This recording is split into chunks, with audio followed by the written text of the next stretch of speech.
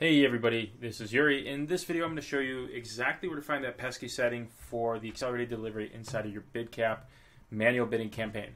All right, so we're going to click on create a new campaign. Um, you must create a new campaign to select this. You can't do it if you already have an existing campaign, so you have to create a new campaign. Um, we're going to click on sales and we're going to click continue. Now this is going to be a manual sales campaign. Uh, there these Advantage Plus things that they've added recently. I'm not sure why they keep changing everything, but they did. Uh, it's going to bring up a bunch of options. So what we're going to do is click on Advanced uh, Campaign Budget, and then we're going to click on Show More Options, and we're going to see this Campaign Bid Strategy, and we're going to select Bid Cap. And we're going to select Bid Cap here, and then where it says Delivery Type, this new option that uh, just uh, got toggled once you selected Bid Cap, click on Edit, hit Accelerated.